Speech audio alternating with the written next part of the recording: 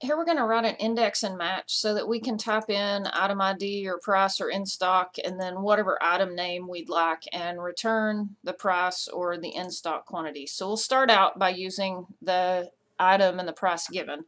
First I'm going to write a match function which will be nested inside the index function.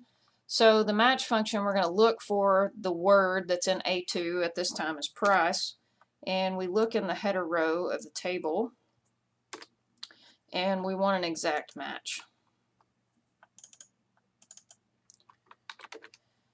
That match is going to return a 3, and that's just column 1, 2, 3. That's the reason for the 3 there. So now I'm going to cut that match and use the index function. And the index function is going to search in this entire array. I missed. There we go. So the index is going to search the entire array and what row is going to come from uh, what is in B1. At this point I'm going to write, um, we know that bronzing blush is in the third row here so I'm just going to put a 3 just to test and make sure that I've got this working right with the match nested inside. So the column number is also column 3 and we know the column number because we did the match for the price and we get a value of $14 which is what we're looking for here. So now I need to replace that 3 with a match that will find bronzing blush in this array. So that match is going to be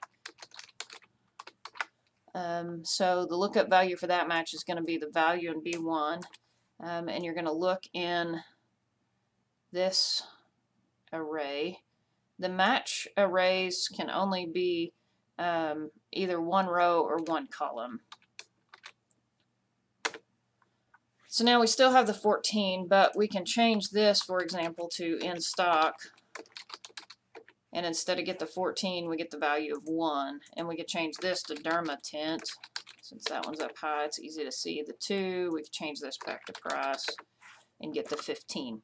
So that's how the index and match works. So typically when I've got a nest functions, I always start with one of the inner functions, make sure I've got that working right. Then I build another piece of the function and go step by step.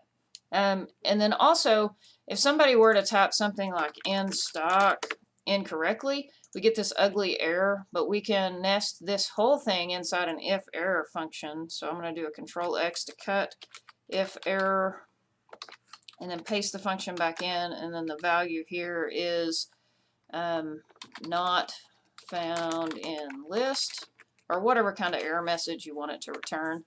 And so now it shows that in stock is not found and if we fix that um, we don't get the error but if anybody types anything that's not found in the list um, we'll get that not found in the list error instead of that pound N/A so the error is a little more helpful to the user.